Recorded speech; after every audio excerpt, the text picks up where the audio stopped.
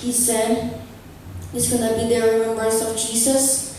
So when he died on the cross, I'm gonna be playing him because I love him. Everybody loves Jesus, right? So I'm gonna play this song.